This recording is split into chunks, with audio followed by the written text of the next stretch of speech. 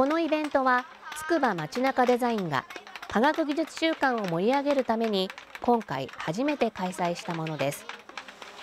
会場には科学技術週間の一般公開を控えた13の研究機関が集まり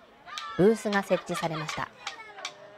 研究機関同士が集まって開催するという機会がこれまでなかなかなかったのでせっかく、えー、こんなに研究機関に恵まれたつくば市であるのであればいろんな人たちが一緒に楽しい体験ができるような機会を作れたらと思ってこのような一堂に会したイベントの機会というのを作っています。筑波技術大学はブラインドサッカーの体験など視覚障害への理解を深める企画を行いました。その中でレッドコードと呼ばれるリハビリトレーニング器具を体験できるコーナーが設けられ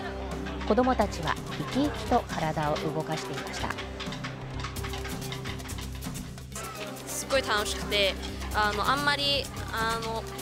宙に浮いたりとかあんまりやってなかったのですごい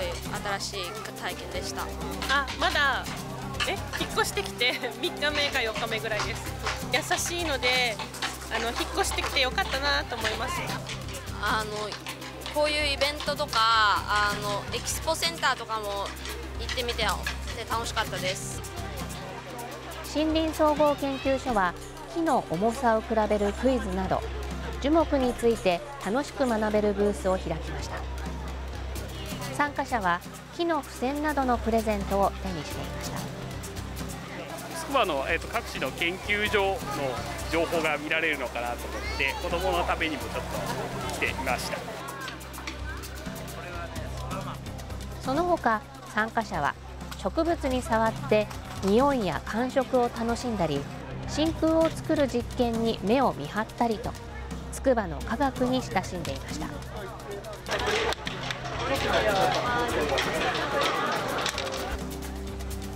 この日は研究機関のブースのほか飲食店が並びました。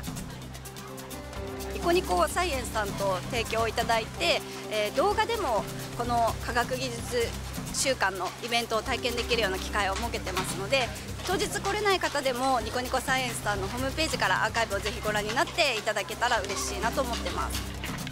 休日のつくばセンター広場は大勢の家族連れで賑わっていました。